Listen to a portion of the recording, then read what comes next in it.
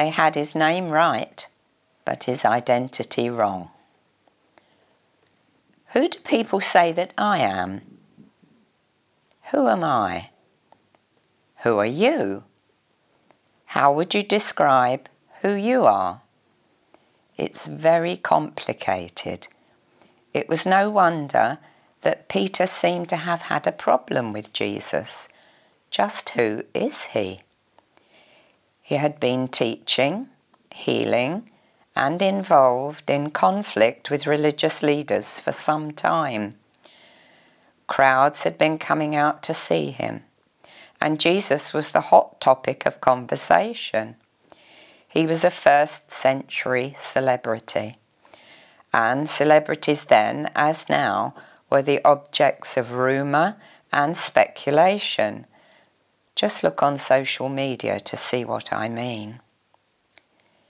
Jesus asked his disciples, Who do people say that I am? He wanted to know what people had been saying. Evidently, Jesus had been getting some Facebook or Twitter type coverage. So the apostles told Jesus what had been, get, what had been doing the rounds. Rumour had it he was the reincarnation of Elijah or of his own cousin John the Baptist. Can you imagine the headlines? Sounds bizarre, but rumours about celebrities often are like that, aren't they? Turning to Peter, Jesus brought the question closer to home. Who do you say that I am? It's one thing to talk about another to talk about other people's opinions and speculations. It's quite another to go on record by expressing your own. Jesus wouldn't allow Peter that safety. He asked him, Who do you say that I am? That was and remains the central question of Christian faith. It's not, Do you agree with my teachings? It's not, Do you think I manage conflict with the authorities well? Nor is it, Are you impressed with the miracles you've seen me perform? The fundamental question is a question of identity. Who do you say that I am? Peter answered, You are the Messiah, Son of the living God. When Peter made that statement, that confession, Jesus blessed him and made, made a striking claim. Flesh and blood did not reveal this to you, but my Father who is in heaven. In other words, Peter, you didn't learn this from the rumours or because of human insight. You didn't learn this or reason your way to this truth. This knowledge was not discovered, but revealed. It is not a work of the human mind, but a gift from God. Peter was the first to confess his faith in the great truth about Jesus. Apparently, he confessed better than he realized. Sometimes a person who is completely right can be deplorably wrong. Remember your maths teacher. It's not enough to have the right answer. You need to know how to get there. Peter was right when he confessed Jesus as the Messiah, Son of the living God. But when it came to understanding just what that meant, he tried to use a flawed formula instead of listening to God's revelation.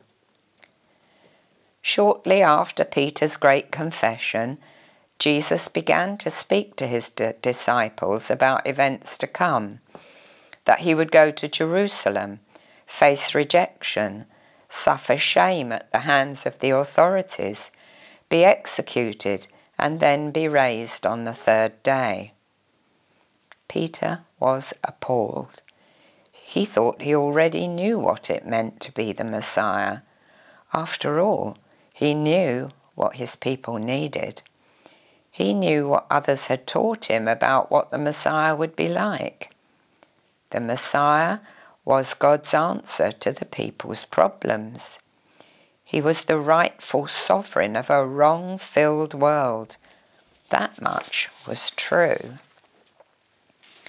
What Peter was not prepared to accept was that the Messiah would right the wrongs of the world not by gloriously trampling on Roman occupation, but by means of an apparent defeat and a humiliating death of his own.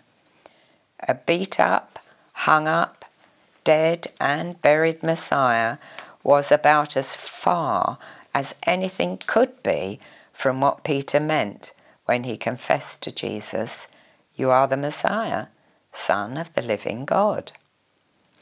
So when Jesus spoke of his coming suffering, Peter found it unbearable. He pulled Jesus aside and tried to set him straight.